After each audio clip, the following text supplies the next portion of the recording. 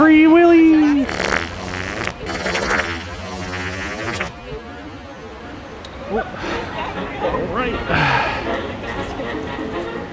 So sorry, sir. Oh my goodness, wow.